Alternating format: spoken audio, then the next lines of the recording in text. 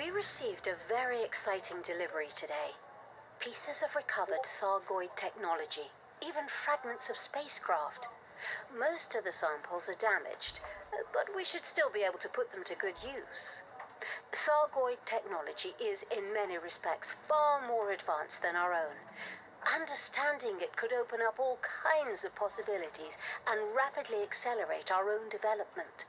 Space travel, energy, weapons, even medicine. The applications are potentially limitless.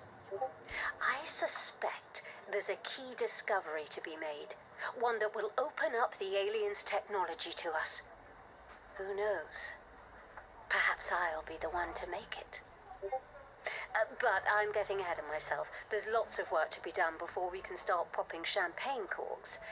I've given the research teams their assignments. Let's see what they can find out.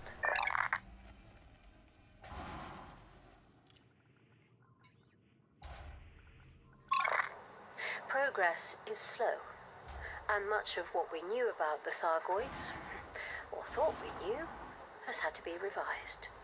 But I suppose that's to be expected. We now have 12 active research projects focusing on a number of different areas. I find myself growing impatient with some of my colleagues. But that's the problem with being a perfectionist. I set high standards for myself, and I expect others to do the same.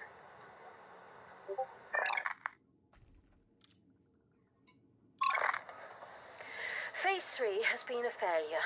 I sincerely believed we were making progress, but just because something works in theory does not mean it will work in practice. There have also been issues with the junior researchers.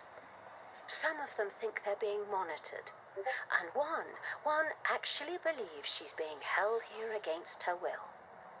Of course, those who have worked in this sector before know this is not the case. Naturally, our employers keep an eye on us. The work we're doing is extremely sensitive. We're researching alien technology, after all. It's a question security. Some people can find a conspiracy in anything.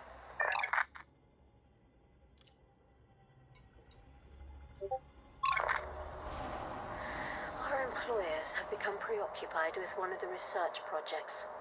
Although I've repeatedly told them it's a dead end. It isn't even an official project. It's just something that one of the junior researchers cooked up in his spare time. He's a specialist in agricultural science, trying to wipe out famine or something. Apparently, he's created a biological agent that incapacitates the alien technology.